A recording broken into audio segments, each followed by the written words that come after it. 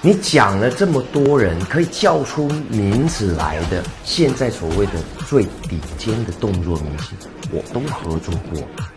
那真正谁是最好呢？我真的答不出来。但是你想想看，他们都要找我，那谁其实是最好的？我也不知道。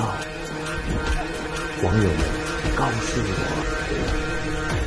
到呃，很多朋友或是网友给我的消息，好像觉得说我的拳术还有我的腿比较好，这样，那这也是我比较拿手的，因为你如果可以叫得出名字，到现在在影坛上了，没有像我那么高，也能够发挥这些东西，那么的。